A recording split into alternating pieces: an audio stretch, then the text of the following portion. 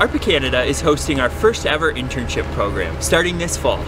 It's for young people ages 18 to 25 who want to make a difference in Canada through political action. Through the internship, you'll gain practical political experience as well as reformed worldview training on a variety of current political issues. We're now accepting applications for the internship until March 31st. Are you interested in participating? Or maybe you know someone who might be interested? There's a maximum of six spots available, so be sure to submit your application as soon as possible. If you want to find out more about the internship or to see what's involved in an application, head to our website at arpacanada.ca slash internship.